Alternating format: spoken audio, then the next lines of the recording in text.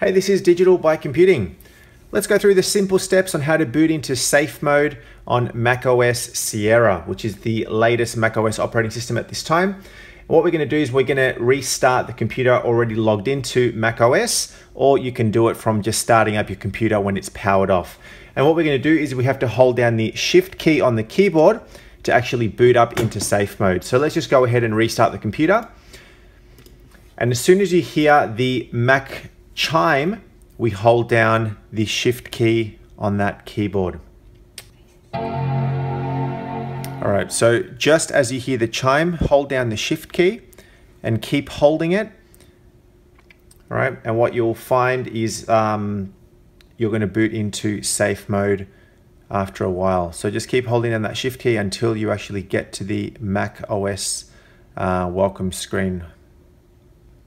So what you may also find is that it takes a little bit longer to boot into Mac than usual, and that is okay because it's it's stopping a whole bunch of applications and services that will normally be running. So your Mac is actually going to start with very limited uh, resources and activity running in the background. Um, so you can actually go in and fix a lot of issues by booting into safe mode, which is really good.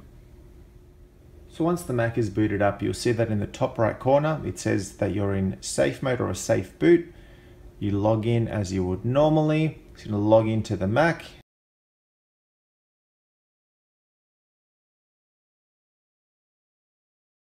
And that's it, you're now booted into safe mode on the Mac. And to get out of safe mode, just a matter of just restarting the Mac as normal and that will boot back into your normal Mac mode.